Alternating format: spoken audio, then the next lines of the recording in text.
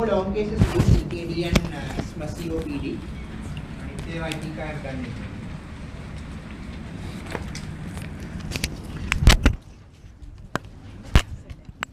Okay.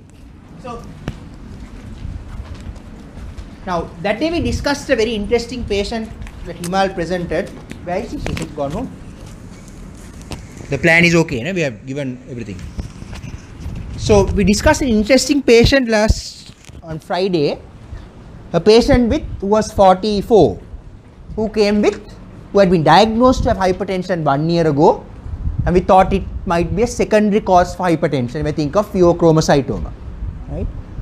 And we are thinking of. We talked about investigating, look for causes, look for the end organ damage. Right? Uh, what we'll do today is just very briefly discuss the principles of management of hypertension. Right? Very simple. Just keep it simple. Nadi pahai.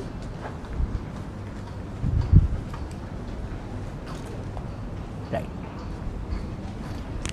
The first thing you have to know is that non-pharmacological management plays a major role in hypertension management. Right? Plays a major role. And sometimes non-pharmacological therapy itself can manage the blood pressure. That's something that you need to know.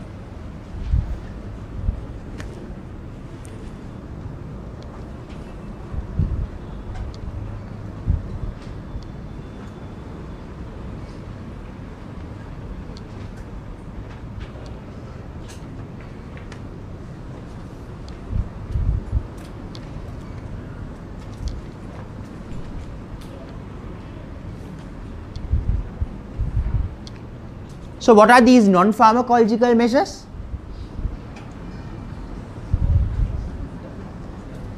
Diet. Diet. What do you need to do for a hypertensive patient? Diet. Low salt diet.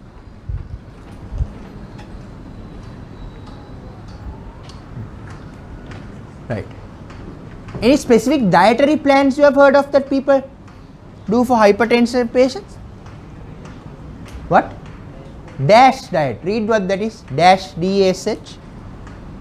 Now there's a big argument going on these days whether the dash diet or the Mediterranean diet is better. Right? That's fine. Mediterranean diet of course ඒක කන්න ගියොත් hypertension හැදෙන එක හොඳයි කියලා හිතෙනවා. Yeah. Where that includes olives and all of these bloody things. So obviously that's not practically applicable in this country. So uh, dash diet is basically fruits and mainly fruits and vegetables. A trend that's the main trend. Dash D A S H it stands for something. Just read a little bit about what it is. ඔක්කොම කියන්න ඕනේ නෑනේ. Right. Dash diet. Salt reduction. Then stopping smoking and alcohol. Lifestyle modifications.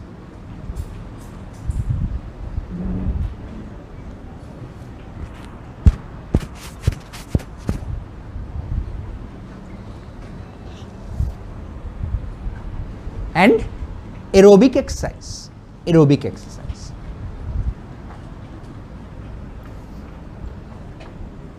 Right? If the patient does all of this, actually blood pressure can be dropped by about 4 to 5 millimeters mercury. It's a can get a significant drop with all these lifestyle dietary modifications. Okay.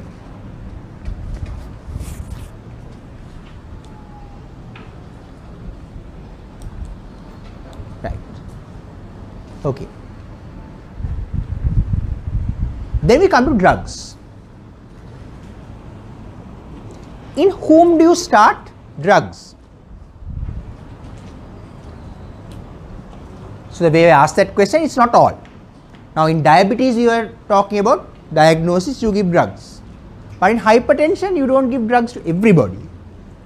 What sort of people do you give drugs to?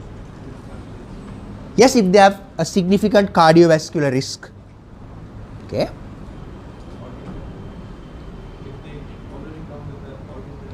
If they have target organ damage, yes. So you give drugs if they have target organ damage, if they have a significant cardiovascular risk profile, What else?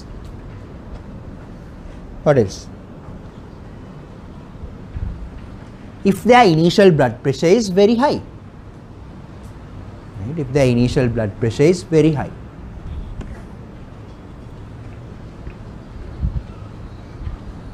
Okay. Okay. Now here keep a little bit of room to write down the latest classification of blood pressure, the various cut-off levels. Just changed last year, so you need to write that down. It might change next year also, that I can't help, but basically now there is a new classification of hypertension, right? various stages and levels of hypertension. Right. Okay. So patients who have a cardiovascular risk, target organ damage, people who have come with a very high blood pressure, right? You start treatment. Okay. What are the first line drugs for hypertension? First line drugs. Now remember, they do, we don't use this ABCD algorithm anymore. We have a sort of a easier way of doing things. There are four first line drugs for hypertension. Four. What are they? This is basic medicine. So, Kaushik, what are the four first line drugs for hypertension? ACE inhibitors. Beta blockers are not first line therapy. Angiotensin receptor blockers, calcium channel blockers, and diuretics. Those are the four first line drugs for hypertension.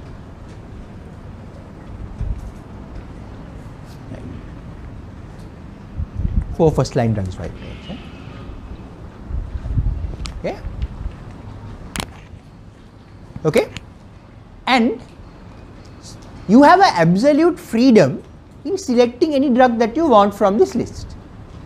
Right? You have an absolute freedom in selecting any drug you want from this list. So, all are equal now. All these drugs are equal.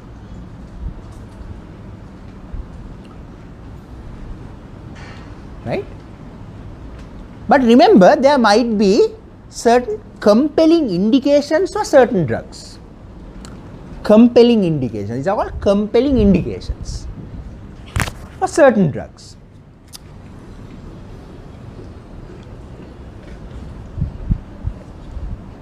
Now, the one of the commonest examples I can give is say patient has hypertension, diabetes and nephropathy. What is the obvious drug you are going to select from these four? ACE inhibitor.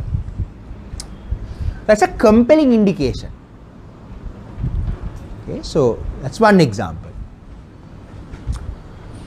If a patient has heart failure and hypertension, again ACE inhibitor. So there are compelling indications for the use of these drugs. Okay. If a patient has stable angina and hypertension, you might use a calcium channel blocker. So these are compelling indications for use of antihypertensives.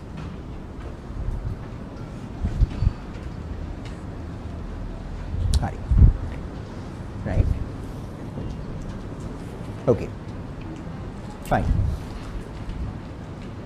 Now, like any other drug, you have to consider other things like contraindications, availability, patient preference also when you are selecting a drug, right? So, those also come into the picture. But you have freedom in selecting any drug you want. But if the patient has compelling indications like diabetes, heart failure, whatever, you might select one over the others. That's the basic principle nowadays in hypertension management. Right. Okay. Right. Okay. Do we use one drug or combinations of drugs in hypertension?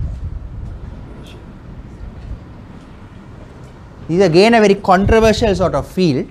We remember the pharmacology, I think you were taught that monotherapy is better than polytherapy. But now this is actually turning a little bit and people are now using these combined pills for hypertension where they have maybe two drugs in one pill two drugs in one pill sometimes even three drugs in one pill so that's a sort of a new trend in hypertension management. People are trying to use multiple drugs.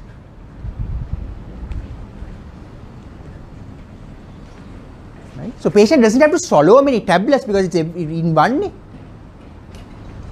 What do you think the advantage of this might be, giving many drugs? Yeah, small doses. You'll be using small dose, therefore side effects will be less. Rather than increasing a drug to its maximum, combining drugs might reduce some of the side effects.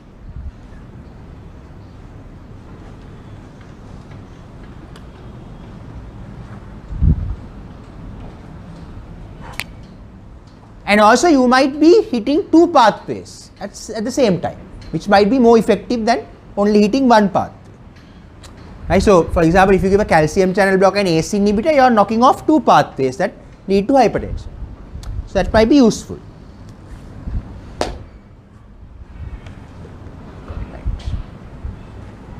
Okay. But unfortunately, these are not available in our government sector, so we still use these single drugs and increase them to the maximum doses and then add another one.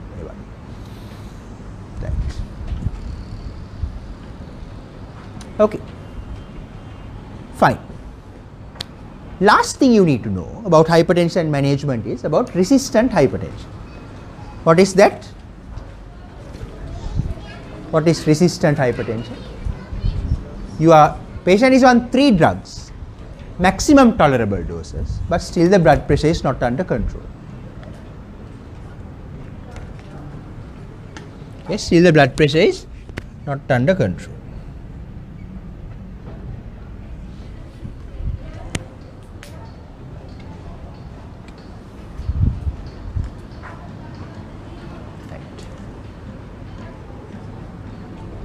Now, what could be the causes for this?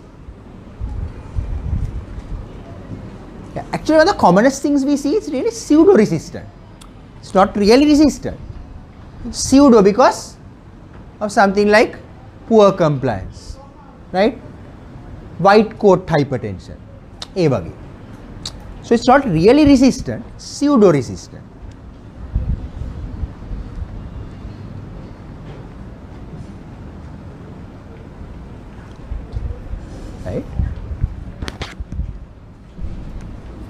So, if generally in resistant hypertension we now do ambulatory blood pressure measurements to confirm it, right? Ambulatory blood pressure measurements usually.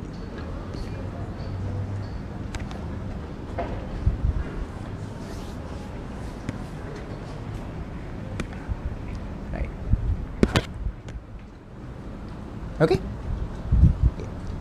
If you exclude all the pseudo causes, resistant hypertension patients have to be evaluated for a secondary cause, have to be evaluated for a secondary cause.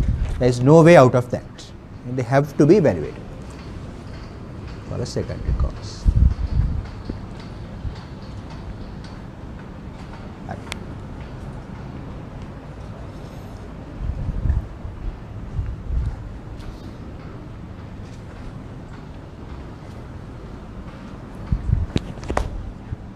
Okay.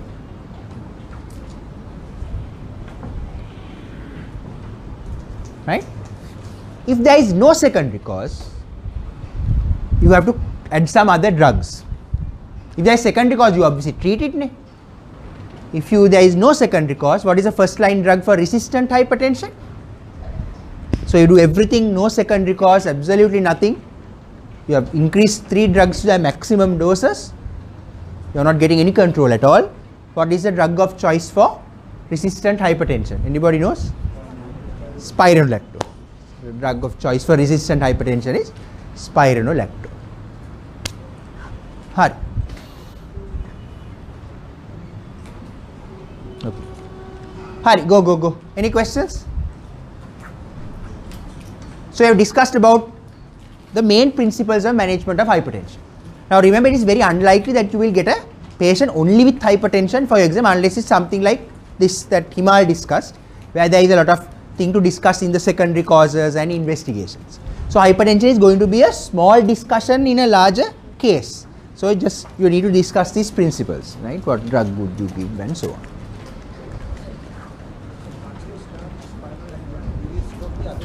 Yeah. Good. Hurry. Okay.